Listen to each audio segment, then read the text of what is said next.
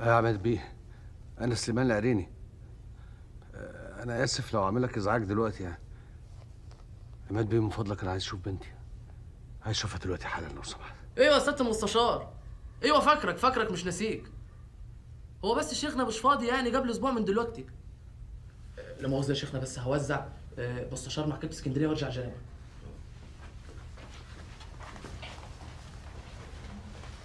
يا سياده المستشار؟ مستشار إيه يا بهيم أنت كمان؟ أنت مخك اتلحس من اللي بتعمله ولا إيه يا سامي؟ الله. اطلع من الدور اللي أنت عايشه ده ونفذ اللي بقوله لك دلوقتي حالا. يا سامي أنا بقول فض الليلة اللي عندك دي وخلاص على كده. يوه من غير ليه يا سيدي؟ اتشائمت يا سامي. ارتحت. اتشائمت الله. ربنا نبهني في آخر لحظة إن أنا ماشي غلط. أعمل إيه؟ أكابر وأستمر في اللي أنا فيه ولا أرجع عن الغلط؟ أيوه يا دكتور يعني إحنا نهدي كل اللي بنيناه عشان حضرتك اتشائمت فجأة وهرتك انقبض. طب ما تصلي على النبي كده يا دكتور بيه قرن. الحكاية كلها إيه؟ خطوة ولا خطوتين وكله هيبقى زي الفل. ويا صابت يا شت. يا سامي إحنا بننصب على واحد غلبان بالسحر والعزايم والبلاوي الزرقاء دي.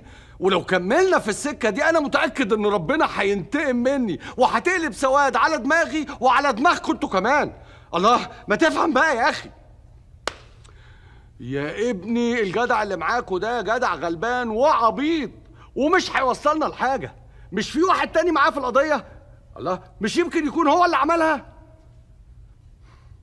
أنتوا إيه يعني؟ عجبتكم اللعبة دي؟ خلاص استحلتوها؟ طيب كملوا أنتوا بقى. وأنا بقول قدام ربنا من الساعة دي أنا ماليش أي علاقة باللي بيحصل ده وبريء منه. أمين يا رب. نقرأ الفاتحة بقى يا مولانا. لا البكا على رأس الميت يا سعد. هنقرأ الفاتحة قبل ما يحصل المراد بإذن رب العباد. وتظهر الأمانة قدامنا كلنا. وساعتها يتبقى لك عندي امتحان أخير. نجحت ورفعت رأسي. هديك هدية ما كنتش تحلم بيها أما بقى لو ما نجحتش وخيبت أمل تاني. هنجح هنجح. بعون الله هشرفك يا مولانا على بركة الله. يطلع النهار ونقصد باب كريم. إيه؟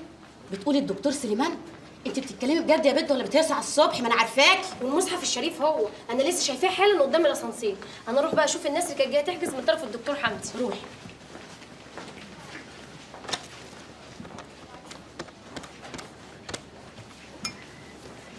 ألو؟ أيوه يا سعيد. بقول لك إيه؟ مين الناس اللي كنت عايز تدخلهم قلب وشرايين في العيادة الخارجية؟ ثلاث حالات؟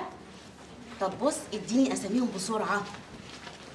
آه آه طيب اتصل بيهم في بيوتهم وابعت هاتهم لي في أقل من ساعة. إيه؟ استشاري مين يا حبيبي؟ ده الدكتور سليمان العريني بنفسه. أيوه طبعا أنا فاطمه طبعا أنا. وده اللي هفضل أقوله لنفسي لحد ما أموت. طبعا أنا المسؤول عن أي عيان يدور عليا وما يلاقينيش. هي دي الحقيقة. هنقعد بقى نقول لنفسنا مبررات وأعذار أصل ظروفنا أصل مشاكلنا أصل مش عارف إيه. بس دي مش مشاكل عادية يا دكتور. ده أنت الله يكون في عونك من اللي أنت فيه دلوقتي. أنا أصلا مش متصورة إن حضرتك في الظروف العادية بتلاقي وقت تمر على المستشفيات دي ربنا يا كلها دكتور سليمان. وربنا النهارده يا سعاده الباشا.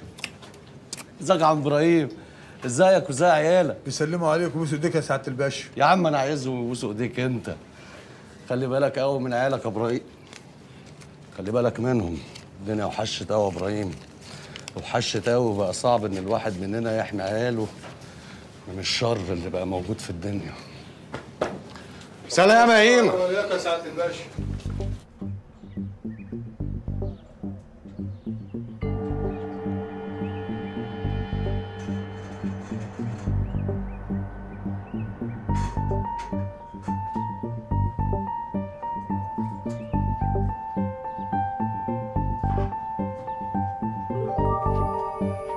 ريس الحفر مش سالك.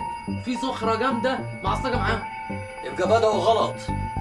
أنا قلت سبعة متر من أول العلامة السوداء في اتجاه الناحية الشرقية. ومستحيل يكون في صخرة في الزمن اللي أنا قلت عليها دي. هو أنا اعمى ولا إيه؟ يا راجل أنت بطل باكش بقى ما أنت زي الحصان أهو. ربنا يطمنك يا دكتور. لبسيه.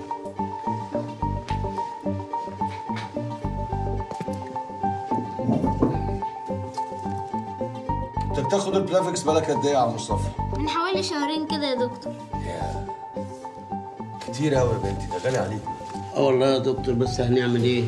مساعد دكتور التأمين ما قال. وهو دكتور التأمين ده خسس عليه حاجة ويا ريتهم بيصرفوا للناس اللي هم بيكتبوه. أنا كتبت لكم على حاجة أرخص وأحسن بكتير. هاتي معاكي روشتة الأسبوع الجاي علشان ما ياخدوش منك تذكرات لا يكرمك ولا يحوجك ابدا يا دكتور. آمين يا رب. تمنعي بقى المسبك والدهون وشغل الحلل ده ولو شرب سيجارة واحدة تبقي لا بنته ولا أعرفك يا جماعة كل واحد هيدخل في دوره. أما لو كان الدكتور بيتأخر في الكشف كنتوا عملتوا فيا إيه؟ يلا يا بنتي أنا مش قادرة أخد نفسي وتعبانة قوي. هانيت يا حاجة قدامك اتنين بس مفيش غيرهم. يلا يا عم حسين اتفضل. ازيك يا سماح؟ ازيك يا دكتور؟ استأذن حضرتك بس أديله خبر. معلش أنا آسفة. أعمل إيه؟ طبعه كده مفيش مشكلة مفيش مشكلة. خدي راحتك اتفضلي اتفضلي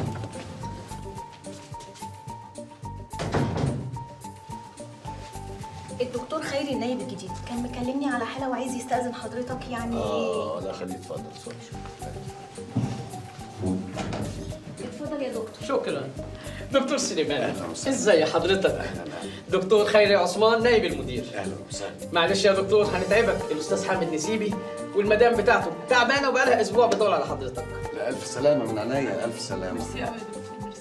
لا حاضر أنا بس هستأذنكم دقيقة واحدة دقيقة واحدة. طب عم حسين آه، استريح شوية أنا جاي لك على طول. اتفضل آه دكتور ممكن أستأذن حضرتك دقيقة بالظبط؟ يعني في أمانة ضروري جدا توصلها للسيد المدير. آه طبعا طبعا اتفضل اتفضل اتفضل عارف حضرتك أنا سعيد جدا وكان نفسي أشوفك من زمان والله والله مش أكتر مني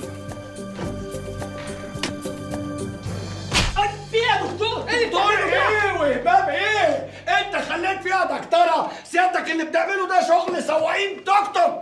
مش فاهم حاجة في إيه؟ هو مش حضرتك برضو اللي رفعت سعر التذكرة الاقتصادي من 5 جنيه ونص ل 20 جنيه؟